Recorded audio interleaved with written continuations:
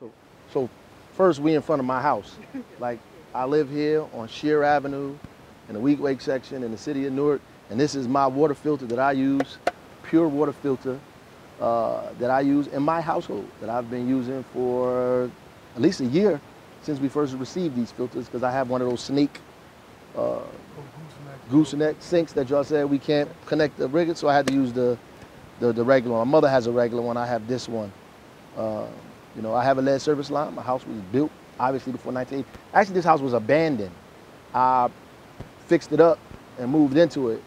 You know, uh, you know, and uh, that's that's how I got here. But you know, it is has a lead service line, and we've been using this filter. And you know, uh, I'm concerned just like everybody else about the filters working, obviously because I've been using it, cooking with it, so forth and so on. And as I've been telling people recently, uh, you know, my wife is uh, almost 27 weeks, right? So, you know, she's been uh, using this filter for a long time, like using it to cook with, using it to put ice in the freezer, using it to do all kind of stuff. So we bet our own safety and life that this filter is working. Uh, plus, you know, everybody else using the filter. Flint, everybody all across the state of New Jersey, the nation using PUR water filters. I mean, we have no expectation that it didn't work. And we still don't know uh, if it works or not, actually. Um, so I guess you could talk about it, Crane, but, you know, I know we tested three water filters or three homes out of 40,000 or 38,000 water filters that have homes, and we found two defective and one was good. So we just started giving out water to make sure people were okay, precautionary measures until we find out what's going on. Yes, I mean, we, have given out over, you know, you say 38, I, some people, I could say 40. We're giving out a lot of PUR water filters. This is a, a national product that Flint, not only Flint was using, it's used widely around the world. Um, it's rated by the EPA uh, as removing 99%, 99.5% of lead. Um, so the city of Newark, as we was uh, conducting a follow-up to look at how much orthophosphate is going through the system from the beginning of the system where the water comes in from our aqueduct to the end of the system, like you know, like the uh, West Ward, the Upper West Ward, or the farther South Ward going into Hillside. Those would be like the end of the system. What's what's an orthophosphate though? What is that? That's the corrosion inhibitor. It's like a food food grade. It's add, uh, additive. Additive that's widely used. It's in a Pepsi soda right now. No. Any one of those drinks you normally do, it's in it. But we use it for a different technology, just to, to provide a coating in the pipe, right? The coating in the pipe to reduce lead from leaching into the pipe. So as a part of us doing a study to make sure that the orthophosphate was coming um, into the system at the rate that we needed it to come in, uh, we tested three filters under extreme conditions. And I wanted to emphasize when I keep when we say extreme conditions, we didn't test them under normal conditions because normal conditions we know they work. We wanted to go a little above and beyond. You know, the, the test this filter, I guess we want to say like to a breaking breaking point. And we found out that in three homes, two of the filters failed, and one of them passed. You know, and, and one of them passed. So it was actually two faucet mount filters, um, the one like you say your mom had, and it was one pitcher. One of the pitchers failed. Um, so immediately, um, the EPA is working with us. We alerted the public on Tuesday that it failed and um, being very transparent. You know, people always pick with us and say we're not telling the truth or we're not getting the information out there, but it seems like we were. Was it Tuesday or Saturday when we alerted the public? We alerted the public on Tuesday, um, on Saturday. Saturday. We alerted them on Saturday um, when we got the results back. We alerted them when on Saturday. The on Friday. Friday about 3.30, um, we alerted them discussion. We are going to expand the pool.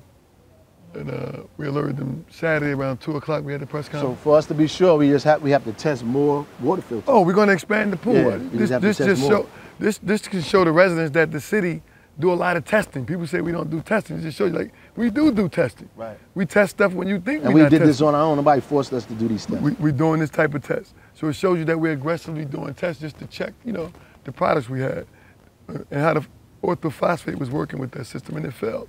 So now we, we today we just agreed on uh, some procedures and protocols uh, of how we'll expand the testing parameters when to get it, we, the US EPA, the NJDP in the city of Newark. So we all came together and agreed on the protocol. Feds in the state. The feds in the state and the city. Yeah. You know, let's not leave the city out because Yeah. we, we bring this information to the Right. state and the city. They don't bring Right. it to us. Because Right. people have a mismatch like a company came in here and went around to houses and just started testing No. and said we have a lead problem. Right. That, that don't happen. You know, You we know what, test. you know what bo- bothers me is like all of the misinformation. Like people out here, I hear people on, on the internet, they got people waiting outside of press conferences telling like information that's completely false. Like just really, I, I, I read something telling people don't come to the VMAs, the Video Music Awards. I mean, these are people who want to see the city fail or want to see me fail, one or the other, uh, who are telling people information that's not real. Like it's just bizarre. I mean, we got a Union County elected official running his mouth, talking about stuff. He has no idea at all what he. And, and I, what I want to know is where these people were at a year ago.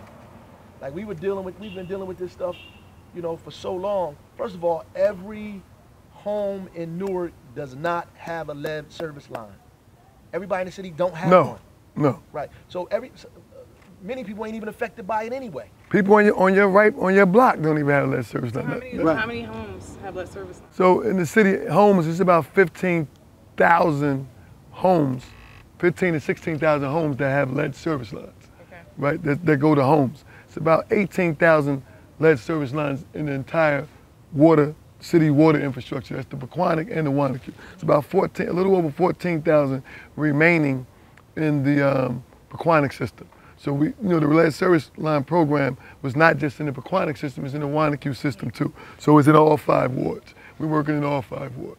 To, to replace those lead service Reverse lines. lead. If you sign up for the program, you know, um, you sign up and you give us permission.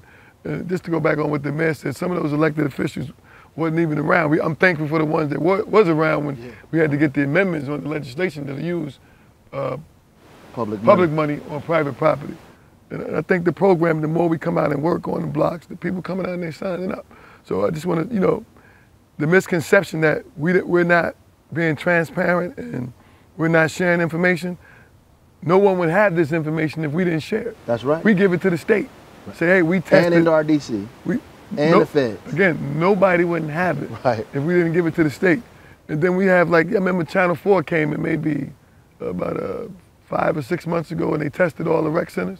Right. They, they don't give out positive information. Right. You know, I was listening to, to the radio this morning, or maybe it was yesterday morning, and I think Charlemagne said, you know, uh, nobody, the, the truth is boring. Right. You know, the theatrics about the, the, the lie, everybody want to hear the lie. If a they lot would of have tested the in the rec centers and have came back with high levels of lead, it would have been all over the place. You know, but the fact that it didn't have high levels of lead, you know, nobody said nothing You about it. I was in my car and I said, man, Charlemagne, he said, uh, the truth is boring. People want to hear the theatrics and the drama around a lot.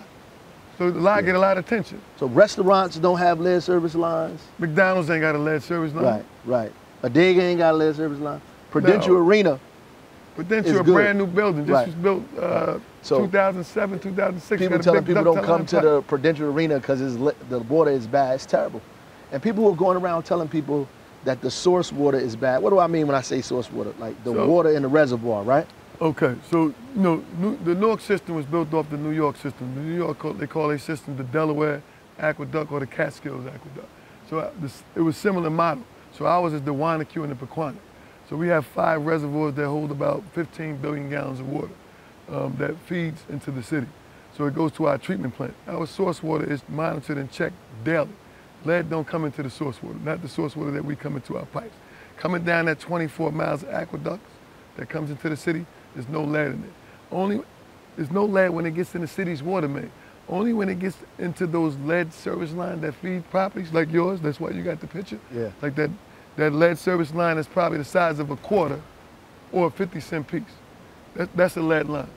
So, you know, um, it's amazing that, you know, we walk up right now and drink out of a hydrant. You know, uh, Right. kids playing in the hydrant. You can't wash up and get lead because you're washing up with water. Um, But what, what, what do people get? The, what do, I don't understand what they gain by telling everybody like the water is poisonous. Like, and, and they get upset when we try to correct them and say the water is not poisonous. They say, oh, you're giving people misinformation when you tell them the water is not poisonous. Well, you're giving them inf- misinformation when you say the water is poisonous because an open-ended kind of statement like that without context is incorrect, right? And, and it's dangerous. It's a public health issue because the person next door, water might be fine. My water might, might be. Those people over there got a brand new house. It is highly unlikely Oh. they have a lead service line. Copper pipe Right. feeding the house. You know, You know, when I bought this house, we had a lead service line. I'm sure all these people up and down, you know, the Weequahic section got them. You know, because the houses are old. And that was a common, it was a common practice in construction during that time, the late 1800s until the uh, mid 40s, that they start, the lead was what they used. It's flexible, you know, it was easy to put in. And around the mid 40s, they started using copper because they started using lead for the war. They needed all the metals to go, you know, fight the war. World War II was around that time. In 1952, uh, February the 10th, 1952, uh, Newark banned the use of lead service lines Yeah. in, in new in homes that were constructed after that. You had to use copper. You know, although it was used earlier than that, but we made it an ordinance or they banned it and said, hey, you got to put in copper. The federal government banned lead solder in 1986. So the new homes that's being built in, in the 80s and the 90s, we know they're using copper pipes because it was banned, lead was banned by the federal government. But we know in 1953, you know, Newark said you got to put copper in. Right. So we were, we were in the forefront back then, Yeah. if you think about it. Yeah. So if you're if you're concerned, you know, my mom calls me every night now. she wants to know what's going on, right? So for the resident, what what is it they need they need to know? One, how do you know if you're affected or not? If it's your household. So if you really want to know how you're affected, you can call the water department at 973-733-6303 and ask us to come out and do an inspection mm-hmm. and get a free water test. It's free. It don't cost you nothing but a phone call. And to see if you got a lead pipe. We can see if you got a lead pipe. We're gonna do an inspection. It take five minutes.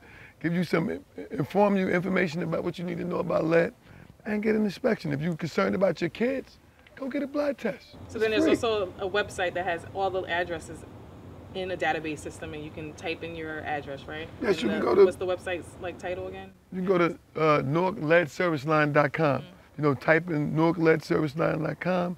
You go on the right site, type in your address, and they can say you have a lead service line. You know, right then and there, whether you're the landlord or the resident, right? Two family, three family, and four family. You concerned, either call us or go on NewarkLeadServiceLine.com and look up and see if your address is in the affected area. So we're saying that if you have a lead service line and you're in the Pequannock area, you are you can go into any of the four distribution sites in the city, which are three rec centers in the health department, and pick up cases of bottled water. Yes. But what is that? What is the difference? Like people, the reporter today was trying to beat me up to ask me what was Wanaque, what the difference. There's some high readings in Wanaque. What's the difference between Wanaque and Pequannock? So, you know, Newark, Newark, like I said, is one of the older cities. We were the first, you know, uh, Newark used to have a lot of reservoirs in the city. You know, 350 years old or more. Depends what you how you how you count the numbers, right? there. So Newark had reservoirs inside the city. So the last one that we closed down uh, in the in the 70s was right there on 9th, 9th Street in South Orange Avenue. They actually called it the Reservoir Village. People Right. don't know why they call it the Reservoir Housing or the Reservoir Village. That was an open water reservoir. Wow. You can walk by and see water in there and throw water in there, stick a cup in there, maybe drink some water. There was treated water, there was drinkable water. And the EPA at the time made us close it down. So when you say um, the Pequannock system, we started to find out that having reservoirs inside the system was easy to be contaminated. They bought land further up in the mountains, right? And they bought a, Newark was one of the first, as like Jersey City, Yeah. having the Boonton Reservoir, we bought the Pequannock Reservoir system, which is about five man-made lakes, right? That we collect rainwater in, right? Surface water, call that surface water. And in the early 20s, they built another addition because at one time Newark population was about 350,000 people. So the city of Newark was 350,000 people. One point more. And, and some and people fail to forget that some of these other towns, Bloomfield, Belleville, West Orange, they were Newark at one time, which could have been a million people. Parts of Elizabeth were Newark. So they built the Wanaque reservoir system, right? Wanaque. So in the city, Wanaque system, as the East Ward started to develop with a lot of industry, they had a separate system to bring water in. We wanted two water systems to bring water in so the city would always have an adequate supply of water, right, in the time of drought or emergency. Right. That's why we have two Yeah. systems. And the Wanaque system is not is not having the same problems that we're having. No, the Wanaque system is even bigger. So the Wanaque system just just Oh, I don't. never knew that. No, yeah, of course. It don't just feed Newark. It feeds parts of Elizabeth. It feeds Bayonne, Okay. uh, Kearny, East Newark, Harrison. So what about people who say Parson-Nutley? they got high readings in Wanaque in their house? Like some people got high lead exceedances in their house. So the, the lead and copper rule allows you to have uh, what came in the early 90s, 90th percentile, right? So you don't expect that no one may not have, never have a high lead hit, right? You can, if you've seen Suez Water had a hit maybe in December around the same Right. time we were giving out filters, right? Suez, they feed uh, Haworth plant, 900 to 800,000 customers. 800,000. Right. Uh, 800,000 people, you see them in Newark, right? We, we probably have about 40,000 people affected. But in saying that, they had a high lead hit. So you're required to do, they tested 110 homes and they had about 11 of them that exceeded. But in July, this July, the latest readings, they under. They under by like a 0.2%. So they tested at 15 parts per billion and you exceed at 15.4 parts per billion. So they don't have the exceedance right now, but they're that close. So um, they need one more of those periods like that, 50, under 15 or lower, and they'll be in compliance. Right. But, but they got one, one monitoring period in compliance. But, you know, And that's what's going on in so in the. Wanaque system, you can have a hit for a variety of different reasons. Somebody could have just changed a new faucet. They could have got rid of an old faucet, put a new faucet in, did any type of plumbing in, that may trigger, you know, a lead, right? And it could be in a home that had a lead pipe or lead solder. You aggravated the solder. That doesn't mean the corrosion inhibitor isn't working. It means that you may have did a modification that could have triggered the hit. Right. Or you could have just went and said, you know what?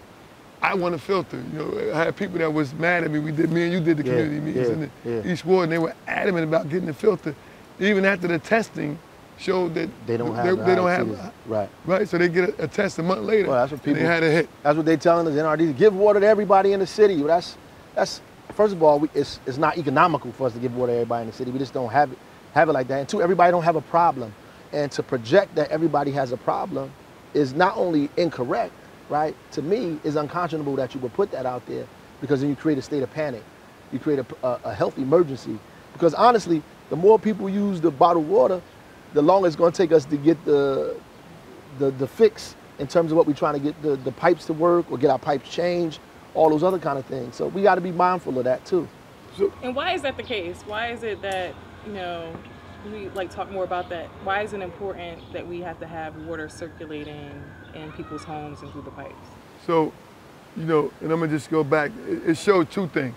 One, when we said I tested these filters under extreme conditions, that means we had the water stagnant from five to 11 hours. It was that sitting means there. nobody not using the water is actually sitting in the lead pipe, right?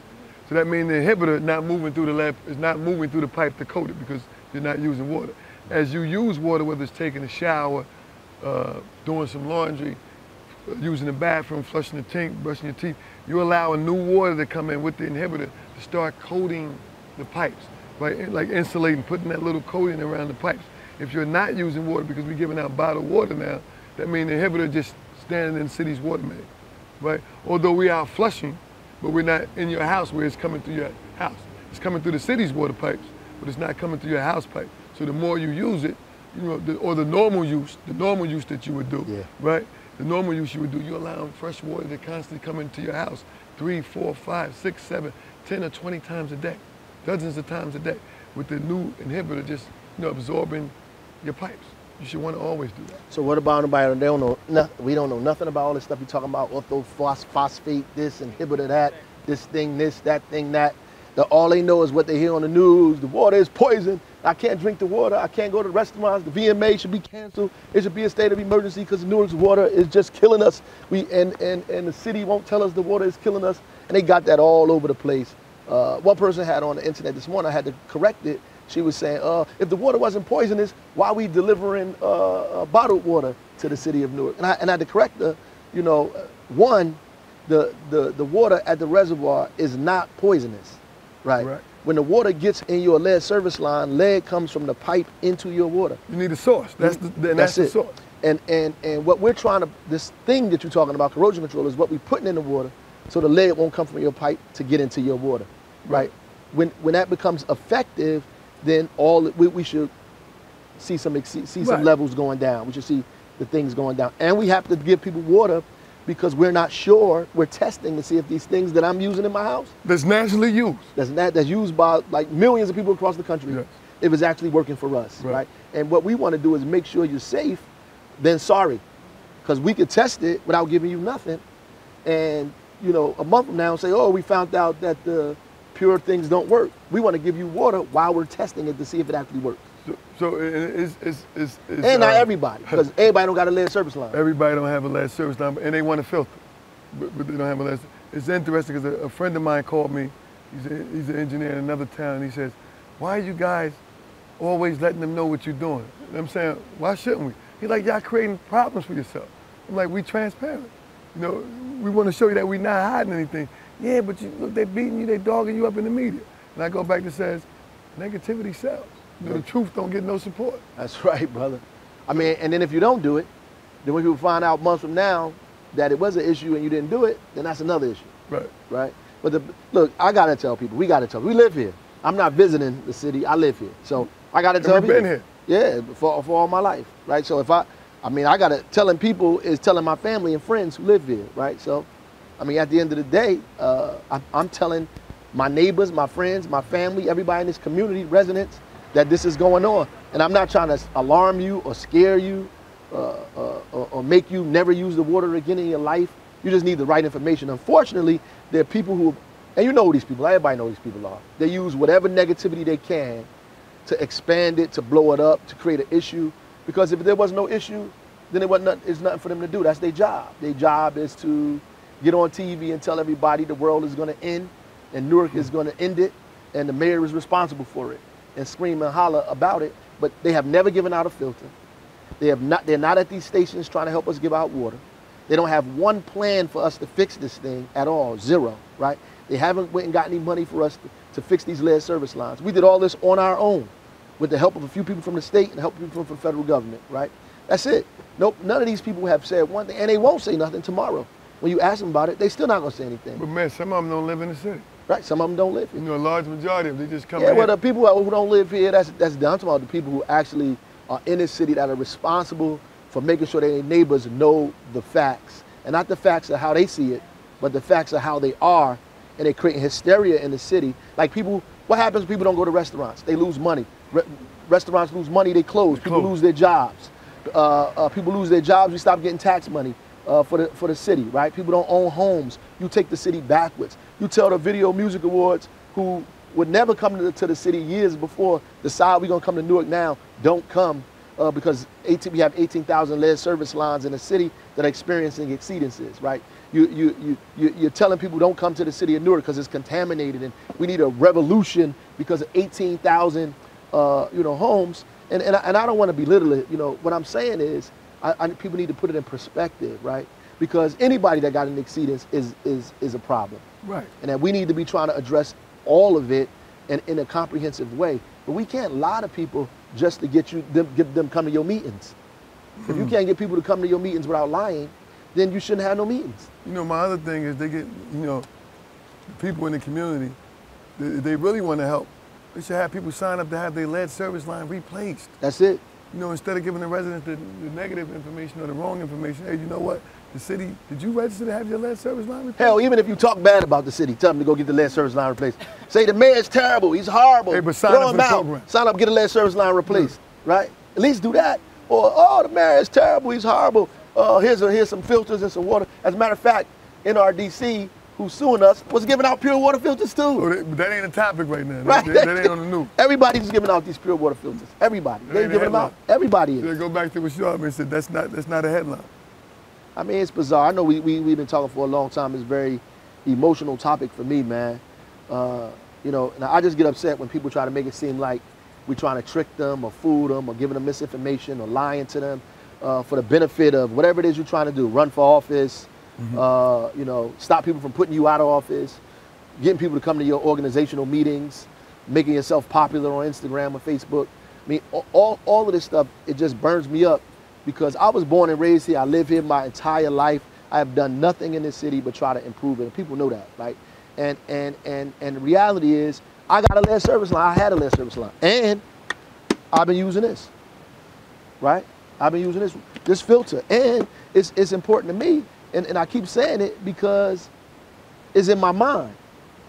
And it, it, it, it might not rightly be in my mind, but these people put it in my mind.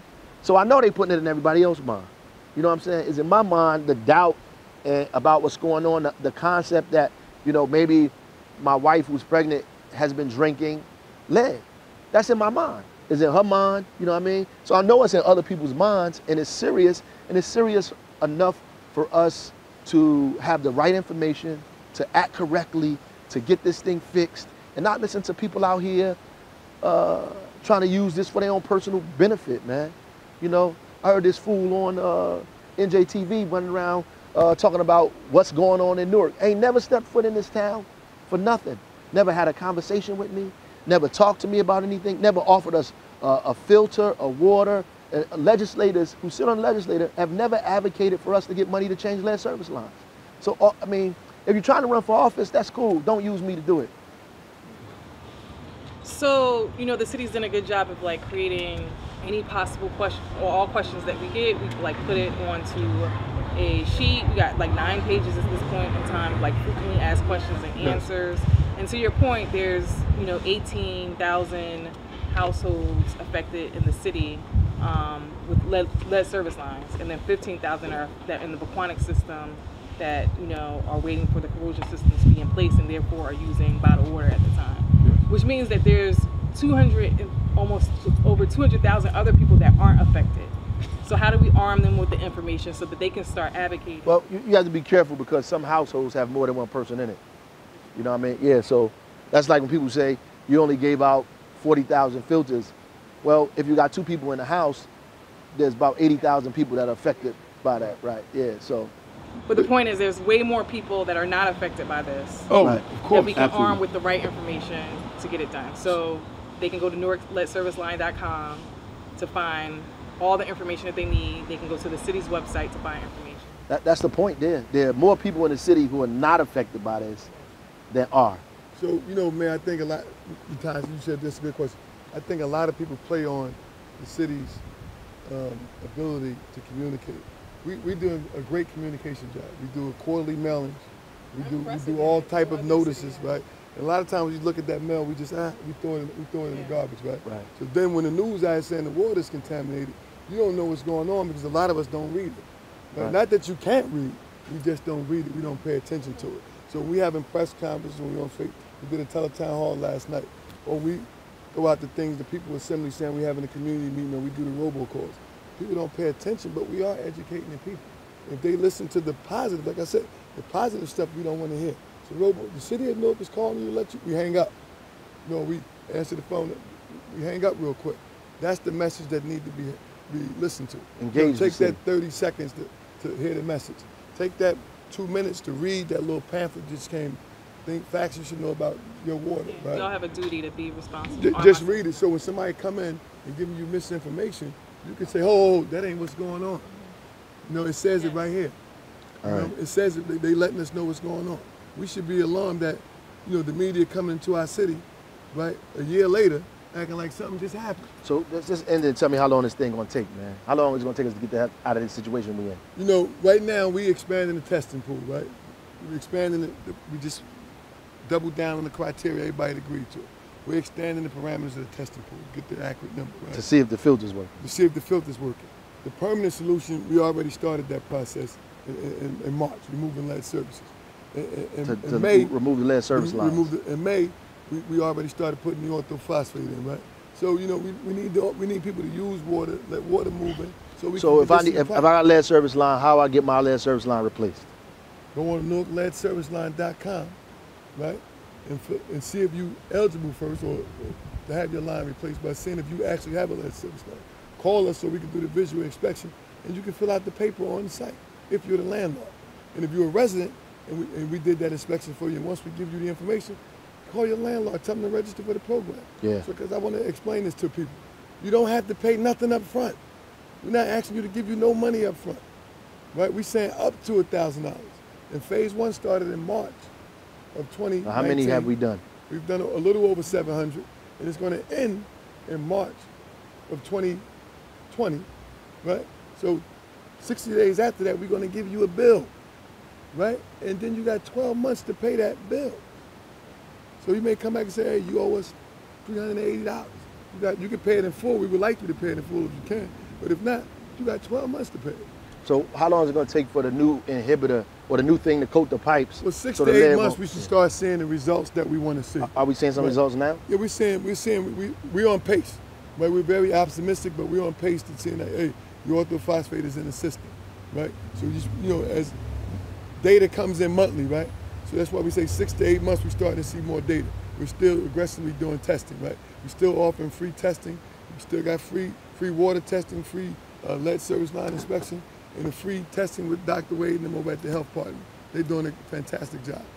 You know, having Yeah. kids coming get Yeah, shout out to Dr. Wade, to to Commissioner Persichilli over at the health department. I just want to give us a shout out for the help that they're doing, and uh, you know even Commissioner McCabe and the Oh, DP. They, they, yeah, they've been working DP. Everybody's been hanging out with us. And shout out to OEM, man. OEM, shout out yeah. to OEM. We got we got to say shout out to the public safety department, the OEM, because they boots on the ground, you know, helping us get these this, this Yeah. water out Yeah. into the into the city at all the Yeah. distribution centers. I appreciate y'all, man.